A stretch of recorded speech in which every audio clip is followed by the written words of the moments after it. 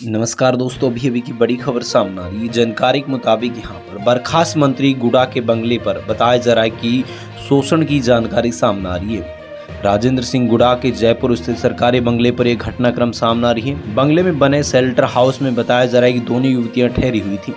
इसी दौरान बताया जा रहा है कि वहाँ पर यह घटनाक्रम सामने आ रही है। इसकी जानकारी मिलने के बाद जोधपुर की पिपाड़ सिटी पुलिस जयपुर गुडा के बंगले पर पहुँची। वहाँ सीसीटीवी फुटेज खंगाले, गुड़ा नहीं मिले, लेकिन कर्मचारियों से पूछताछ की। जानकारी के मुताबिक रिपोर्ट के सामने आ रहा है कि दोनों युवतियाँ घर से दो लाख रुपये गहने लेकर निकली थी। पुलिस ने जाँच की, खिवसर रतकुड़िया के टोल नाके से सीसीटीवी फुटेज खंगाले और रेगलो स्टेशन पहुँची। स्कूटी मिली, इसका आधार पर लोकेशन सर्च की अम्बाला पंजाब में दोनों युवतियों की लोकेशन मिली और साथ में दो युवक मौजूद थे, पुलिस ने सभी को डिटेन कर लिया। जिनमें बताया जा रहा है कि कॉलोनी निवासी अशोक बिश्नोई और बगला निवासी मेघराज जाट दोनों को गिरफ़्तार किया। पूछताछ में पता चला कि नागौर से जयपुर गए थे, बर्खास्त मंत्री राजेंद्र गुड़ा के सरकारी आवास एक शेल्टर होम बना हुआ है।